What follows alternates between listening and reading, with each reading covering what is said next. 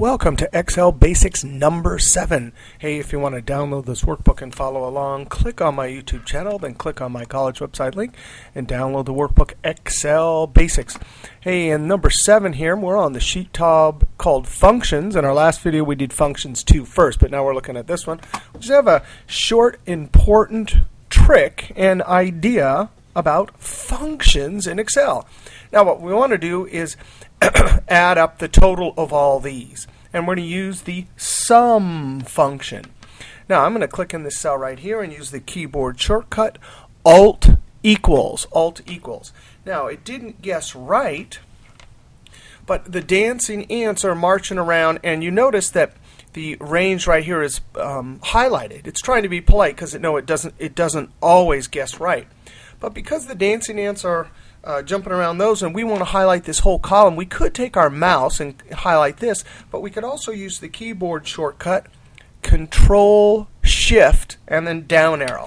That is a command in the middle of a function that will automatically highlight to the bottom of the current region. That's an awesome trick for when you have hundreds of rows of data. Now, look at this. It says A13 to A18.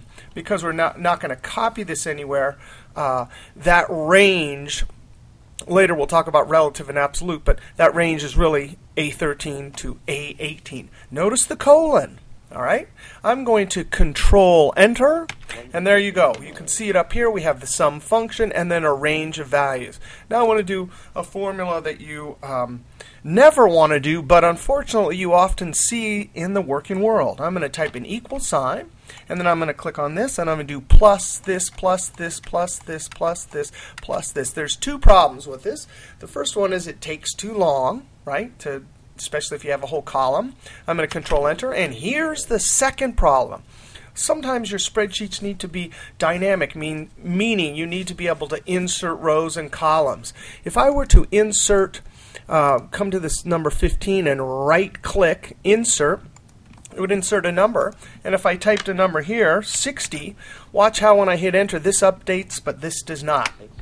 So if I click in this cell and hit F2, the reason why is because we used a range. Some cell reference, colon, another cell reference. Escape.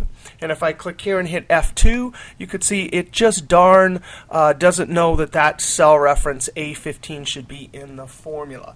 Later, um, in a couple videos, I'll show you an even more profound um, example of this exact um, problem when you do this. And of course, the solution will be always use range. So whenever you can, because it's faster um, when you're typing it and because updating later is easy, whenever you can, use a range in a function. All right, we'll see you next trick. Remember, as always, if you want to download the workbooks, go to the Excel is Fun channel and then scroll down here on the left. And sure enough, there's a link right there.